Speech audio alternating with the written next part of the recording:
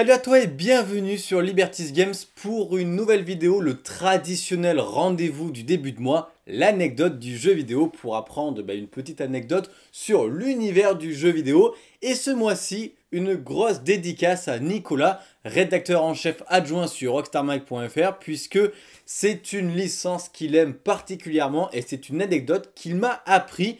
Du coup, nous allons découvrir ce mois-ci la particularité plutôt méconnue de Link, le héros de The Legend of Zelda. C'est parti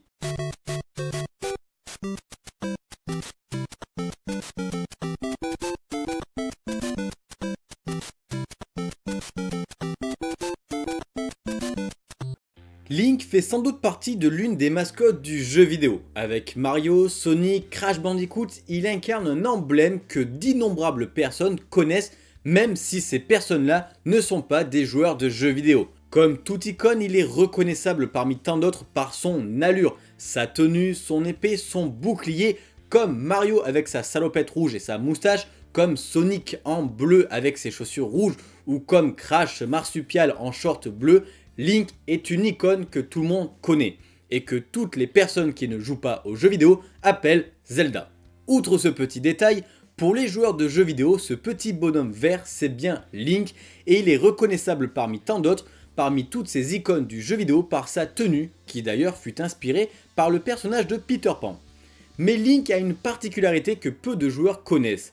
Il est l'un des rares héros de personnages de jeux vidéo à être gaucher. Pour les plus observateurs d'entre vous, vous aurez peut-être remarqué que Link tient toujours son épée de la main gauche et son bouclier de la main droite, et cela dans tous les jeux de la licence.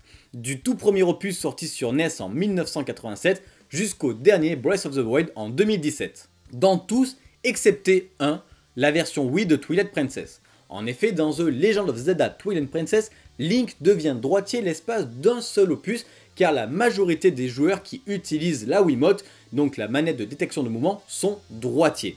Cependant, dans la version GameCube du même titre, Link est bel et bien gaucher. Mais pourquoi Pourquoi ce petit détail? Eh bien tout simplement parce que Shigeru Miyamoto, son créateur, est lui-même gaucher et qu'il trouvait injuste de voir que des personnages et des héros de jeux vidéo droitiers. Ainsi, pour son héros d'aventure, il décida d'en faire un gaucher. Voilà pour cette petite anecdote bien sympathique du jeu vidéo. Je remercie encore Nicolas de m'avoir prévenu de cette euh, information que je ne connaissais pas. J'espère que tu auras aimé cette vidéo, que je t'aurai appris quelque chose. N'hésite pas à mettre un petit like si c'est le cas, de laisser un commentaire bien sympa, de partager cette vidéo et n'oublie pas de t'abonner si ce n'est pas déjà fait. On se donne rendez-vous très vite pour plein de nouvelles choses sur Liberties Games. Salut à toi